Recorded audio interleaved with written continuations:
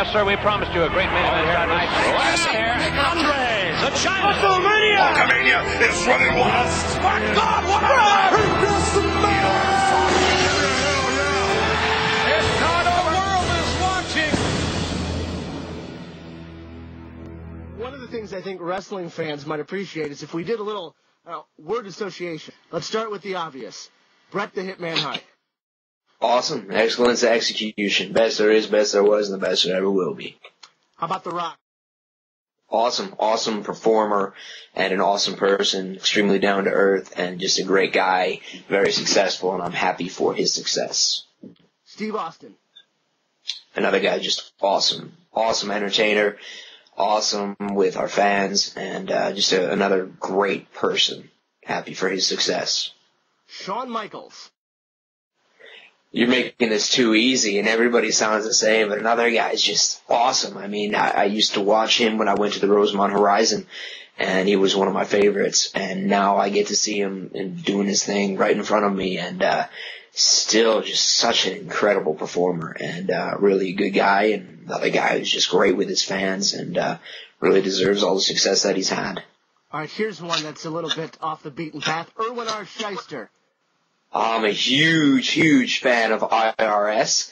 He actually works behind the scenes now, and uh, that was my dad's favorite wrestler back when we used to go to the shows.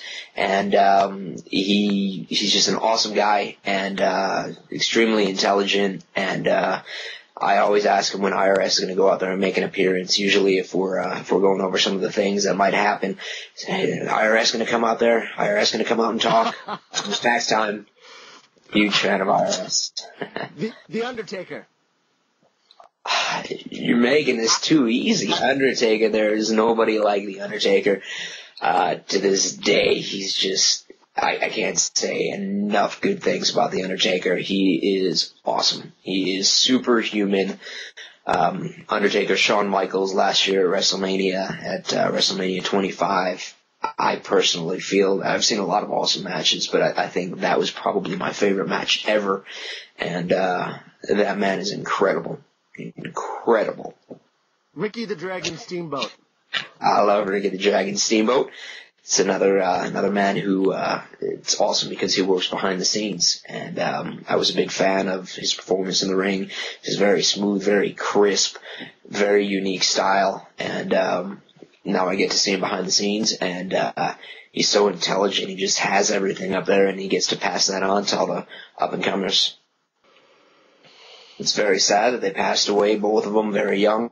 Um, I worked with Steve a couple of times, Steve Williams. Um, he did, uh, he made some appearances on some of our live events, and he was a great guy. I got to sit next to him once on an airplane and got to talk, and, uh, he was just, he was a good guy. And, um, Umaga was a character. He uh, he was very entertaining. He had a great sense of humor, and uh, there were a number of times he came in the ring, and I was scared of him because he was Umaga, and uh, he just made me laugh. And I, I try not to show it. I, I try to bite my lip, but some of the stuff that he came up with was incredible. I love the Royal Rumble. That's actually my favorite event. Um, what the first thing I remember is uh, Greg Valentine getting thrown over the top rope and just slamming the mat. He was so angry that he didn't win. I don't remember if that year he had the opportunity to become the number one contender or actually the champion. It may have been the champion at the time.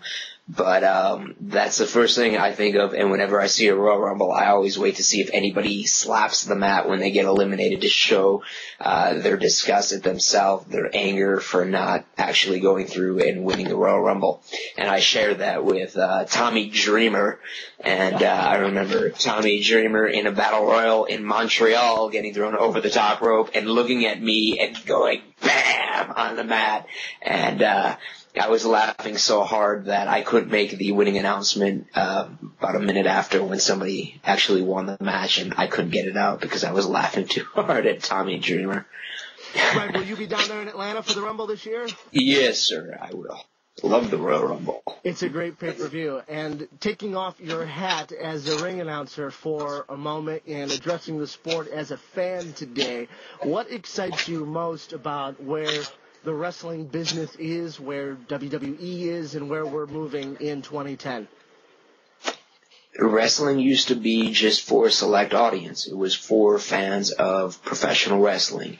And now WWE has gotten huge and they've really made it sports entertainment. Then they've really just made it entertainment in general. I mean, obviously there's a sport feel to it because these guys are incredible athletes, but it's, uh, it's entertainment now. And, uh, by having celebrity guest hosts every week on Raw, we've got music guests, we've got actors, we've got actresses, we've got everybody. So everybody has become a part of this. It's not just for wrestling fans anymore. It's for people out there who want to be entertained. That's the best way to put it. If you want to be entertained for two hours, for one hour, maybe at ECW, whatever it is, that's what we cover. And we have something for everybody. And that you certainly offer. Justin Roberts, I want to thank you so much for joining us. I want to thank tonight. you, Michael. It's great to be part of your show.